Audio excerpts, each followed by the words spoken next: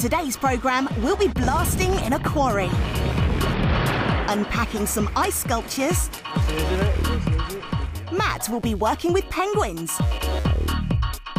We'll be taking a close look at a rainy day and getting tied up with balloons in Science Tube. We are surrounded by materials. Rock is a raw material of the Earth.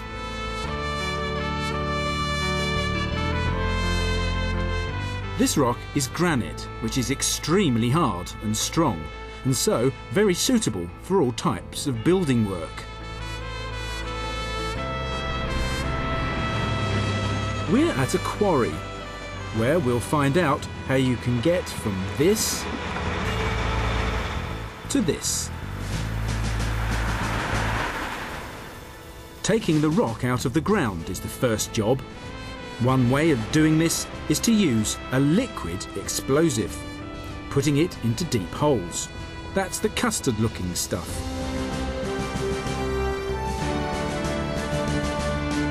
It's then all connected together.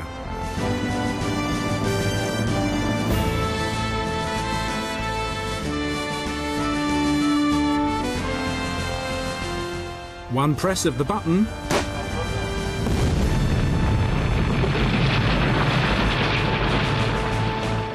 Well, that's certainly got the rock loosened up. Let's look at it again.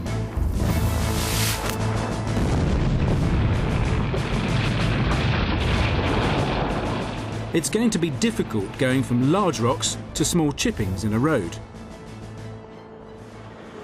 Lifting first.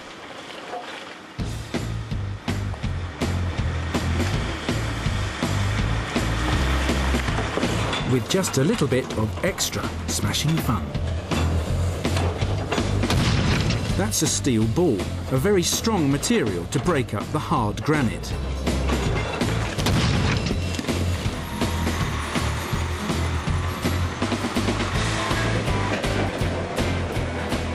The rocks roll down a chute and into a crusher next. There are two steel plates. One moves backwards and forwards against the other to crush the rocks. It's feeding time at the quarry.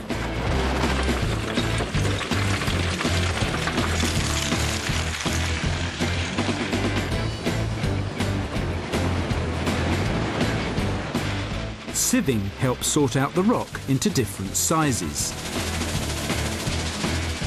Once crushed and sieved, the rock's put in piles according to size. It's now called aggregate. This size of aggregate is just right for roads. But like this, it wouldn't stick. So it's mixed and heated with bitumen, a thick black gluey stuff. It's like a hot cake mix, and it's called asphalt. So a lorry full of hot sticky asphalt is on its way to a road. This road is being resurfaced. It's already had the old surface taken off. The lorry full of hot asphalt arrives and the road surfacing can begin.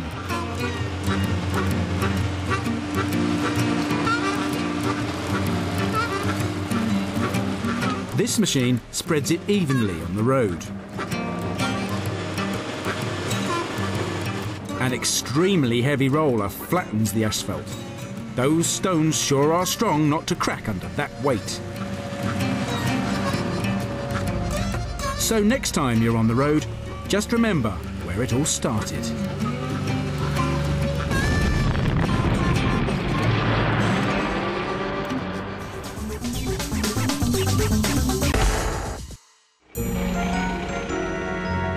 It's three o'clock in the morning, but all is not quiet in Norwich city centre.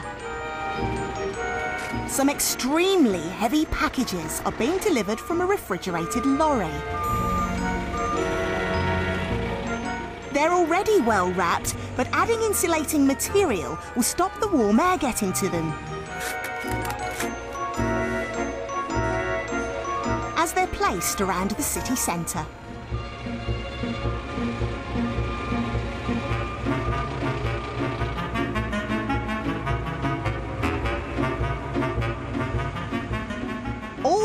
Packages started off as this.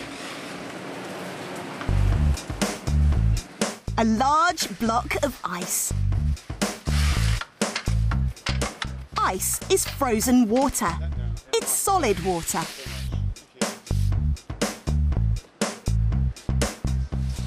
Here at an ice studio, the ice is going to be shaped and moulded into a sculpture. Different kinds of tools are used to cut and mould the ice. Look what's happening. So Duncan's going to have to work quickly. Ice is an extremely hard material.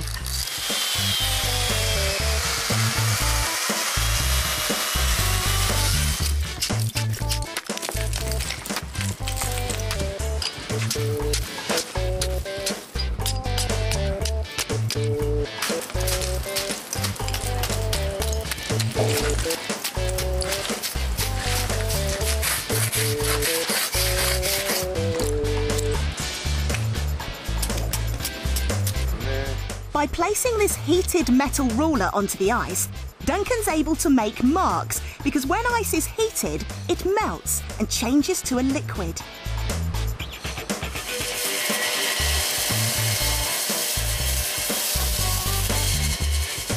The jigsaw is a good way of cutting curved shapes very accurately out of the solid ice.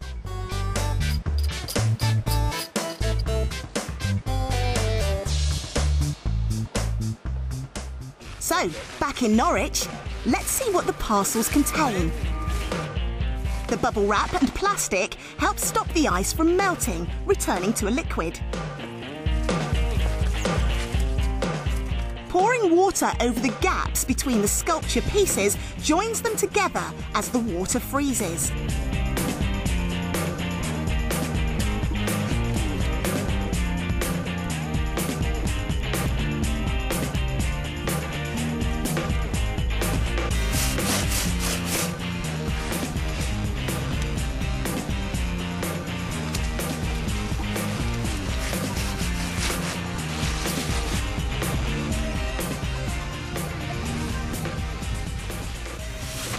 These ice sculptures have been made for the annual Norwich Ice Sculpture Trail, which is held before Christmas.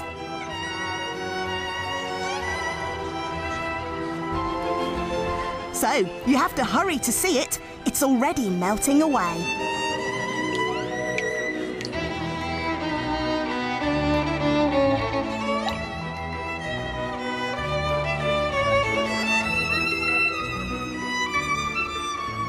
Leave it more than a day to see the sculptures.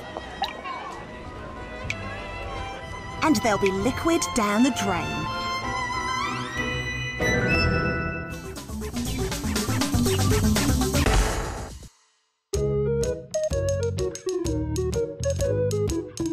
Here are some ice shapes made into penguins. When we heat them, they lose their shape. They've changed, melted into a liquid. Water. The liquid water is flowing. As the liquid gets hotter, it boils. The steam is a mixture of water droplets that you can see, and water vapour, a gas that you can't see. So, although water can be a solid, liquid, or a gas, it is still the same stuff water.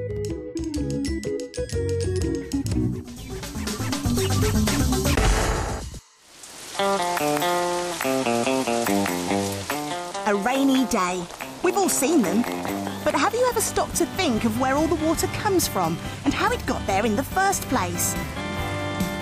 What if I told you that this water is the same water that's been on our planet for millions of years?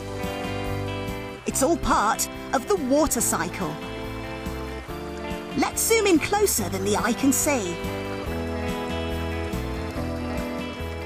When the sun shines on the water's surface, it heats up and the water molecules get full of energy and move about.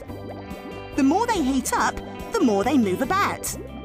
They move about so much that they break free and rise up as water vapour, a gas. This process is called evaporation, and if you've ever watched a puddle dry out in the sun, then you've seen evaporation. So where does this water vapour go? Well, as it rises, the molecules cool and form into clumps, water droplets. This process is called condensation. If you've ever seen water form on the side of a cold drink, you've seen condensation in action. Water vapour in the air cools down quickly on the cold glass and forms water droplets. Clouds are made up of billions of droplets of water, all clumped together and weighing several tons. They become too heavy to be held in the air and fall back down to the earth as rain.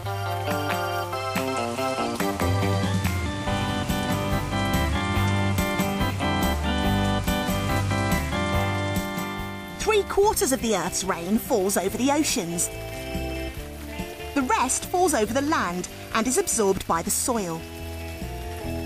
It slowly makes its way through the soil to rivers, which in turn flow back to the sea, and the whole process starts all over again. Water is constantly changing state, from a liquid to a gas to a liquid again. A reversible change that's been happening for millions of years. So next time you have a glass of water, just think you could be drinking the same water that the dinosaurs did.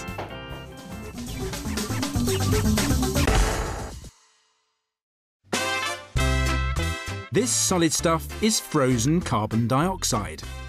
Let's see what happens when Matt puts some inside a balloon.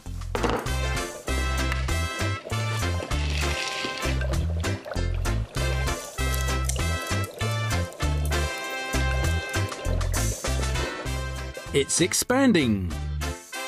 If Matt leaves the solid carbon dioxide at room temperature, it will warm up and change back to a gas. So the same amount of stuff takes up a lot more space as a gas than as a solid. Something in the air, nitrogen, is all around us. But we've made it so cold, it's now a liquid. Matt's going to put this air-filled balloon into the liquid nitrogen. Let's see what happens.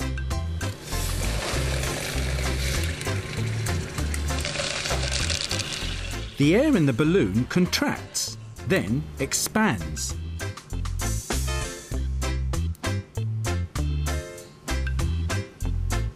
When the air inside the balloon cools, it contracts. It takes up less space. When the air inside the balloon warms up, it expands. It fills the balloon again.